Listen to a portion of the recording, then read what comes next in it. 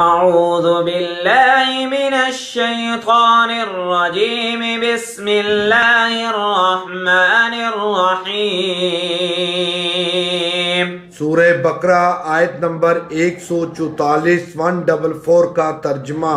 قد نرى تقلب وجهك في السماء.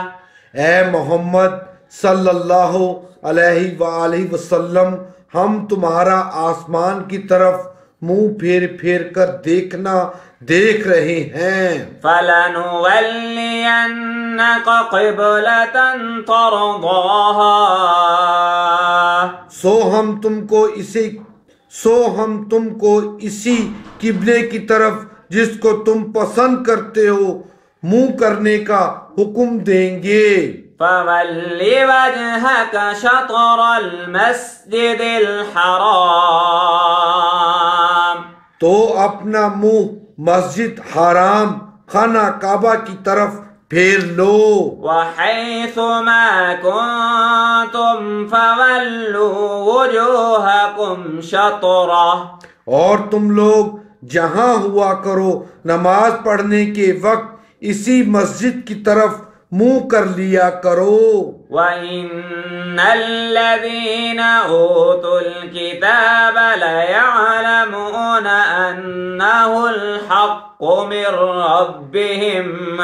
اور جن لوگوں کو کتاب دی گئی ہے وہ خوب جانتے ہیں کہ نیا قبلہ ان کے اللہ کی طرف سے برحق ہے۔ وَمَا اللَّهُ بِغَافِلٍ عَمَّا يَعْمَلُونَ۔ اور جو کام یہ لوگ کرتے ہیں اللہ ان سے بے خبر نہیں بے شک۔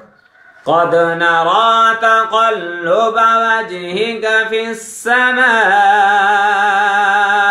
قد نرى تقلب وجهك في السماء فلنولينك قبلة ترضاها فول وجهك شطر المسجد الحرام وحيث ما كنتم فولوا وجوهكم لكم شطرة وإن الذين أوتوا الكتاب ليعلمون أنه الحق من ربهم وما الله بغافل عما يعملون. بشك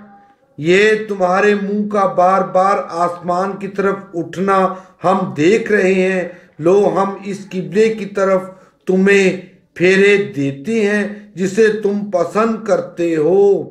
مسجد حرام کی طرف رخ پھیر دو۔ اب جہاں کہیں تم ہو، اسی کی طرف منہ کر کے نماز پڑھا کرو۔ یہ لوگ جنہیں کتاب دی گئی ہے، خوب جانتے ہیں کہ تحویل قبلہ کا یہ حکم ان کے رب ہی کی طرف سے ہے اور برحق ہے۔ مگر اس کے باوجود جو کچھ یہ کر رہے ہیں، اللہ اس سے غافل نہیں ہے۔ بے شک۔ اللهم صل على محمد النبي الأمي وسلم تسليما. آمین بسم الله على ديني ونفسي وولدي وأهلي ومألي. آمین يا أليم يا حليم يا ألي يا عظيم. یا اللہ بھائی چودھری زاہد بھائی سلیم مغل بھائی خورشید مغل اور بھائی ملک محمد اسلم اور ان کے اہل خانہ اور اولاد کو سرات مستقیم پر چلنے کی توفیق عطا فرما۔ آمین۔ یا اللہ ہمارے اہل خانہ اور اولاد کو نیک بنا۔ آمین۔ ملک پاکستان کی حفاظت فرما۔ آمین۔ صلى الله عليه وآله وأصحابه وأهل بيته أجمعين.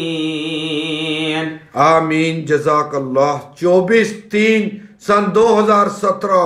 اللہ اکبر.